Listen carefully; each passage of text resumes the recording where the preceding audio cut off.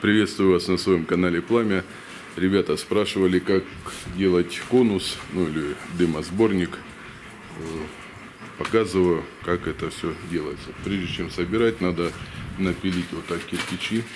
То есть срезаем фаски по 3 сантиметра. Где-то около 40, от 40 до 60 штук надо вот таких кирпичей приготовить.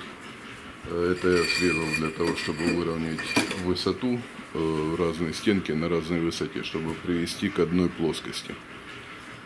Ну, сейчас залезем, посмотрим наверх. Так вот, разная высота. Смотрите, у меня перемычка вышла выше вот этого ряда. Здесь у меня освещение сделано. Значит, ставим этот кирпич. Видите, с фасочкой все. Здесь у меня базальт, ну или каолиновая вата. Обязательно отделяем облицовку от э, огнеупорного кирпича. И чтобы выровнять в одну плоскость все стены, мне вот пришлось вот так вырезать. А, Видите, да, вот все теперь в одной плоскости. Теперь я три стенки поднимаю. Вот зуб у меня уже сформирован. Поднимаю до сечения дымохода. Правую стенку, левую стенку и передняя. Передняя стенка будет опираться у меня на правую стенку. То есть здесь мне надо будет сейчас спилить. И вот этот э, наклон, чтобы опирался на вот эту сторону. Так постепенно подгоняем, подгоняем и выходим гладкими стенами конуса на сечение дымохода. Вот, в принципе, и вся технология. Ну, буду время от времени показывать вам, что у меня получается. В принципе, ничего сложного, как говорится. Ну, главное, чтобы руки росли откуда надо, тогда все получится. Ну, если не растут откуда надо, это на это просто вам понадобится чуть больше времени. Вот и все. Разложив я на сухую, без раствора, ну, чтобы прикинуть, посмотреть, как все у меня будет выглядеть. Видите, гладкий склон получается. И вот можно по рядам посчитать уже, сколько мне надо будет напилить вот таких кирпичей. Вышел я на середину конуса. Ну, вы видите, что ничего сложного особо нету в плане расчетов. Там вы просто фаски спиливаете на кирпичах. Фаска, я имею в виду, это вот 3 сантиметра. Вот так спиливаете с каждого кирпича и устанавливаете. Тем самым у вас повторяется конус. И тем самым у вас повторяется наклонная плоскость второго зуба. Все соединяется и подходит к сечению дымохода. 35 сантиметров. У меня вот здесь вот пролет. То есть дым свободно поднимается вверх и заходит в трубу. Запомните, труба не затягивает дым из мангала, а именно горячий воздух поднимает дым и заталкивает его в трубу. Здесь, 65, и с каждым рядом я все ближе и ближе к дымоходу. Дымоход у меня будет 40 сантиметров. Я еще не определил 27 на 40 или 40 на 40. Как подойду, так э, буду уже определяться. Здесь очень сильный ветер дует э, со стороны гор сквозняки очень большие. Закрываться здесь теплица практически ничего не будет. Большие пространства, поэтому я принимаю решение здесь увеличить сечение дымохода, чтобы дым свободно выходил беспрепятственно. И еще вам покажу маленький секрет. Это секрет использую я в своих э, наработках. Да, я изучаю технологию, систему аэродинамики, вообще как ведет себя поток. Вы, наверное, слышали уже ламинарный поток, турбулентный поток. Для чего второй зуб, вообще первый зуб, второй зуб. Э, что такое эффект Куанда. Эти все моменты печники, каменщики, мангальщики должны э, знать. Так вот, я вам показываю. Здесь у меня выход от печи под казан. Здесь тоже вся конструкция должна быть аэродинамичной. Весь лишний раствор, все надо убирать, чтобы весь канал был сглаженный дым беспрепятственно выходил. А, значит, смотрите, здесь у меня выход, вот труба из нержавейки. Здесь я все подгоняю. А, ну, потом я еще буду мокрой тряпкой все это заглаживать, весь раствор, чтобы ничего лишнего не торчало. И, ребята, самое интересное, это вот, вот такое закругление в кирпичах.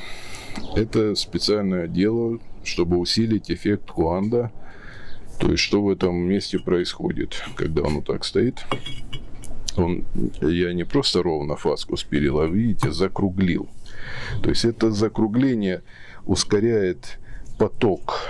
То есть, в этом месте, вот вы видите, у меня трубу он не перекрывает, этот кирпич, сечение трубы. Он как раз э, вот это место соединяется с вот этим местом на трубе. Раз. И вот это вот закругление э, беспрепятственно, а даже еще и с ускорением будет вылетать здесь дым. Вот это я вот потом срежу, чтобы следующий ряд становился уже вот так будет перекрываться, перекрываться, перекрываться до самой трубы. Ну и с этой стороны тоже я огнеупорным кирпичом все заложу, чтобы избежать выхода дымовых газов. Так что, ребята, построить печку, это только с виду кажется, что она очень простая. На самом деле все очень сложно. Надо знать технологию. Э, ну вот, я не хвастаюсь, но говорю вам, что мой двойной зуб очень хорошо себя зарекомендовал. Все вот эти моменты э, я изучаю систему, совершенствую эту систему. И многие печники, начинающие, пользуются этой технологией, и у них все получается. Так что, ребята, технология сложная, но я вам ее раскрываю, вы ее изучаете, учитесь, и дальше уже вам будет легче. Вы уже знаете, как это делать, просто внутренняя часть у вас не меняется, вы только украшения наружные облицовки Э, придумывайте или как заказчик вам э, скажет, что он хочет. В общем, в таком плане работаем. Закончил я формировать дымосборник. Значит, получилось у меня 38 на 38 сантиметров. Закладываю сюда забутовочный кирпич. Ну, забутовочный это вот этот когда выйду уже на облицовку, буду формировать конус из облицовочного кирпича. У меня огнеупорные кирпичи кончились, то есть все было рассчитано до кирпича, но в связи с тем, что печь под казан очень гигантских размеров, из-за того, что плита под казан э, очень больших размеров, пришлось увеличить сечение печи, и она забрала на себя дополнительные ну, огнеупорные кирпичи. Вот все кирпичи спиливаете, никаких углов нигде не торчит. Так что вы просили, как я конус собираю. Вот я вам видео ответом отвечаю. Теперь переходим непосредственно к тест-драйву. Э, тест-драйв это обязательно вот, запомните обязательно, неотъемлемая часть сборки конструкции. Э, почаще себя проверяйте. Лишний тест-драйв не бывает. Сейчас э, в условиях такой экстремальной погоды, не знаю, где вот вам показать, что ветер здесь гуляет, сквозняк очень сильный. Тестируем сечения дымохода. Ну, конечно, это лучше проводить в идеальных таких погодных условиях, но это бывает крайне редко.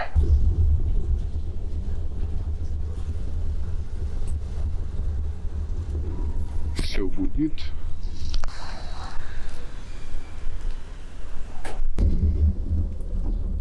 А если вы переживаете, что конус я только собрал, раствор еще не успел высохнуть, то я вас уверяю, для него вот этот 5-10 минут огня вообще он даже не почувствует. Тест-драйв 5-10 минут можно провести, не переживая, не опасаясь за раствор.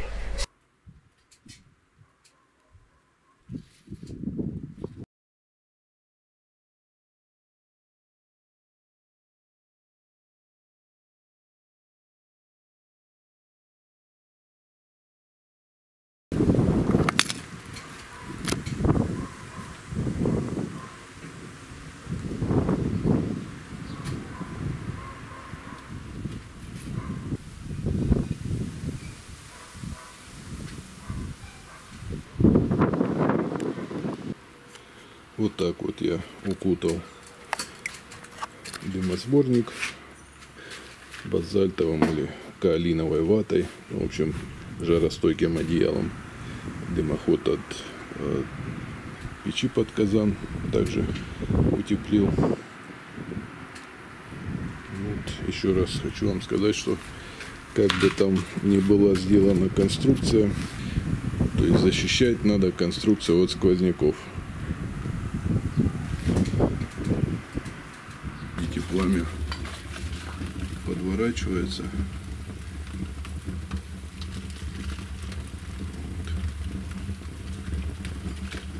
Повторяет контур зуба второго. Видите, наверх прям заворачивается.